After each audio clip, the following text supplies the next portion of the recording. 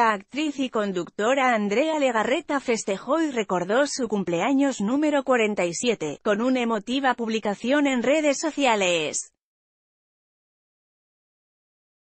Foto tomada de YouTube. El día de hoy la conductora Andrea Legarreta está festejando su cumpleaños número 47 y así lo festejó. A través de las redes sociales la también actriz, Andrea Legarreta, celebró con una emotiva fotografía y mensaje en su cuenta oficial de Instagram, pero lo que llamó la atención fue el mensaje que le dedicó a sus enemigos.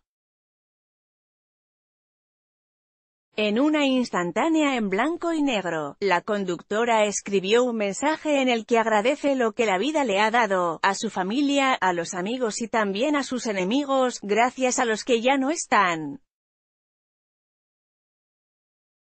A los que se fueron, gracias a los que están y se irán.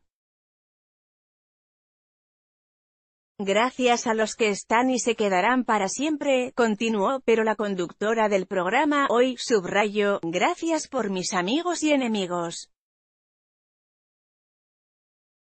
Todos han sido valiosos en mi paso por la vida. Lista completa de los nominados a los premios Emmy 2018, Game of Thrones y Netflix lideran las nominaciones así sorprendieron a Andrea Legarreta en programa. Hoy, el festejo de Andrea Legarreta fue de manera agridulce, pues ayer le dieron la noticia que el productor de televisión, Santiago Galindo, había muerto.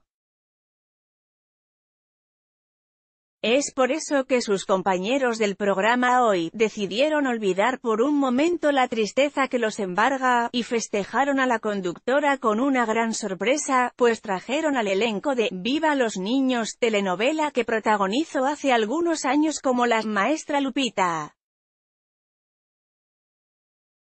La reacción de Andrea Legarreta fue tan emotiva pues no se esperaba a sus exalumnos después de no verlos durante tantos años, y es que la conductora decidió abandonar los melodramas para dedicarse de lleno al matutino.